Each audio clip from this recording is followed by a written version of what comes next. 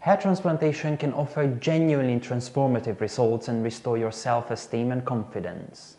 But most people know very little about the effects of this revolutionary procedure. Today I will show you three stunning results you can achieve with hair transplantation. This way you can see for yourself how effective the treatment really is. Hi, I'm Janos from Hair Palace Hair Clinic and as a patient coordinator I have accompanied the treatment of more than 1,500 patients in the past five years. So let's see how the hair transplant transformed the looks of three of our patients. First, let's take a look at David, who was suffering from extensive hair loss and had to undergo three surgeries in total. He came to us around 2015. By that time, he was suffering from widespread balding across nearly half of his scalp. David has been losing hair since his early 20s and the hair loss severely impacted his confidence and daily life. We implanted 6,000 hairs in his frontal region to restore his hairline and density. His first procedure resulted in a more even density all over his crown.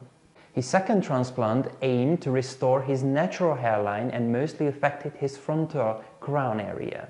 This is the procedure that truly revolutionized the way David looks as he finally regained his hairline. He achieved excellent results and looks years younger than he used to. Our second patient, Bartolomei, also suffered from a receding hairline ever since his early adulthood. He had 6,397 hairs implanted in total.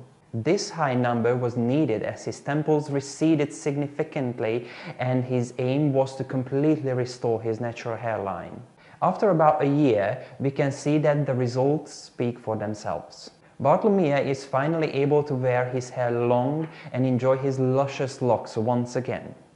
Last but not least, let's take a look at Xavier. Xavier is one of our returning patients. He has been experiencing hair loss since his early teenage years.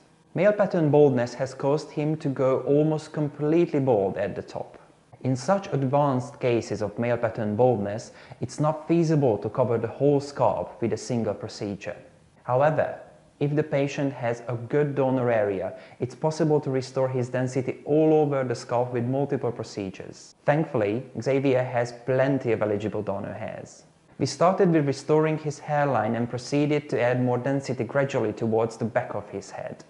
After more than 10,000 hairs and four years, Xavier finally regained his full head of hair and achieved the results he was looking for. What do you think about these hair transplant results? Let us know in the comments below. And if you enjoyed this video, subscribe to our channel. We post new videos every week where you can learn about hair transplant methods, success stories, and the efficacy of hair transplantation in general. Our goal is to help balding men overcome hair loss once and for all. Thank you for watching.